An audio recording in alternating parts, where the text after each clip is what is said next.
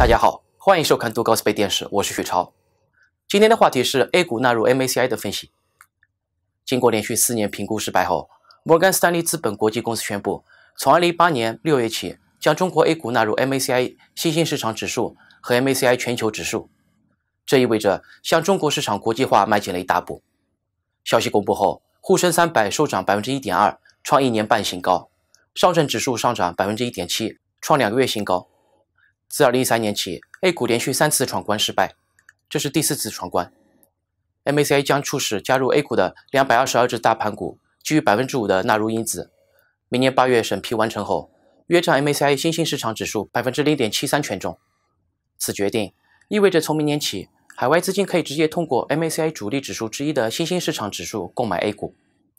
MACI 首席执行官表示，目前这一权重比较低，百分之五水平是综合考虑了投资原则确定性、法规及监管等因素。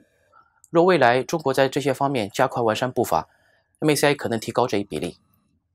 MACI 是全球投资组合经理采用最多的基准指数，全球约十万亿美元资产以该指数为基准。五月，MACI 全球指数涵盖的市值约四十一点三万亿美元，MACI 新兴市场指数约四点六万亿美元。预计在部分 A 股纳入后，将初步带来约一百七十至一百八十亿美元的资金流入。如果 A 股在未来全部被纳入，资金流入规模能达到约三千四百亿美元，而这一般需要七到十年才能实现。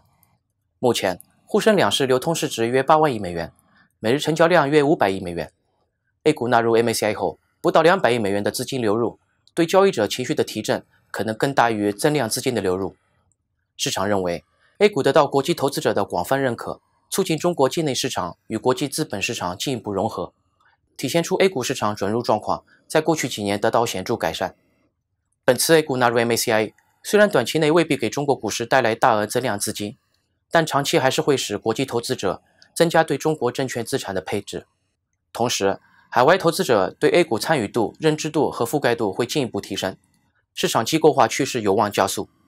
A 股投资风格逐步理性化，在机制和制度上逐步走向完善。此外，受到 A 股流动性增加，人民币也可能会升值。但是，尽管 A 股纳入 MACI，将为中国市场带来诸多正面影响，但未来挑战仍然存在。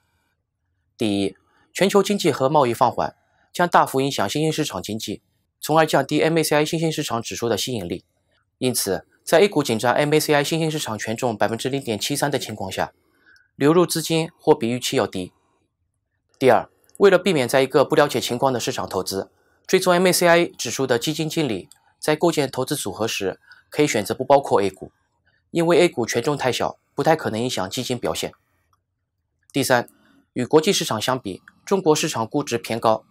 随着纳入权重进一步推进，中国市场全球化很可能令 A 股估值降至全球水平。第四，现在暂时难以估计究竟会是 A 股国际化，还是恰恰相反。因为最近三地互联互通计划启动以来，A 股交易员有时会采用并不完全合规的交易策略，在香港进行交易，并引发一些股票剧烈波动。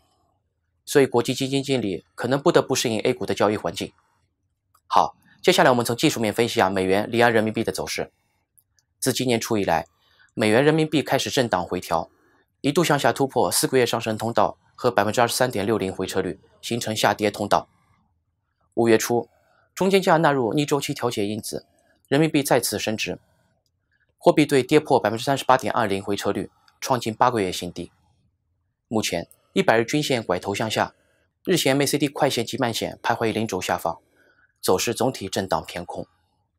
如果市场对 A 股纳入 MACI 将增加资金流入的预期升温，同时美元继续走弱，美元人民币将会向下突破百分之三十八点二零回撤率，并且测试六点七五主要支撑位。但是，如若美元得到支撑，重新开启上升趋势，汇率将试探短期均线系统的阻力。好。感谢收看杜高斯贝电视，我是徐超，我们下期再见。